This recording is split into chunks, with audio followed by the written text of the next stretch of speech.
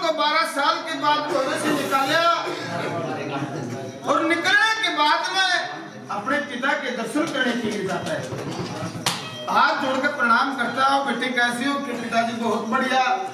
राजा सुलेमानी मनमन अंदाज़ा लगाते हैं कि बजाय इसकी माँ के पास में, इसकी जननी के पास में इसको भेजा दर्शन करने के लिए, आशीर्वाद लेने के लिए। और हनी देने सोचेगी। जब मेरी प्रेम का होता, तब पहले मेरे द्वारा आदेश देते राजा।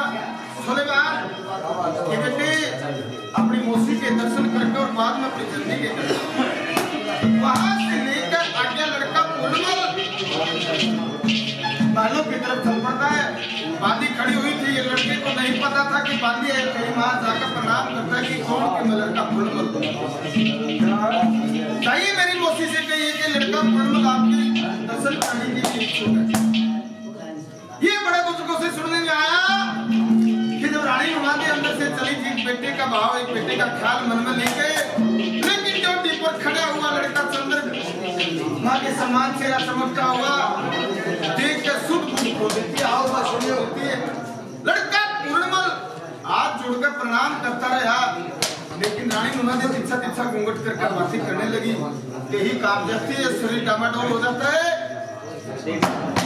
दिन का आव भाव, लड़का अपनी मौसी की एक बात के द्वारा क्या कहता है